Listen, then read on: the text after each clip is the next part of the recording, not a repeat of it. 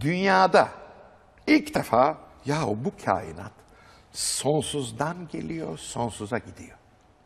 Bunu söyleyen bir adam var ve bu adam bizim tanıdığımız ikinci bilimci tarihte. Anaximandros. Anaxi Thales, Thales diyor ki, efendim her şey sudan meydana gelmiştir. Şimdi Anaximandros e, düşünüyor, "Ulan her şey sudan meydana gelse iyi suyu nasıl yapacağız? Falan Anaximandros diyor ki, benim kanaatim diyor, esas madde apeirondur. Yani sınırsız. Zaman dışıdır. Sınırsızdır. Hiç. Ba- Başı da yok, sonu da yok. Fizik bugün yavaş yavaş buraya doğru gitmeye başladı. Stephen Hawking'in yanlış olduğu çıktı.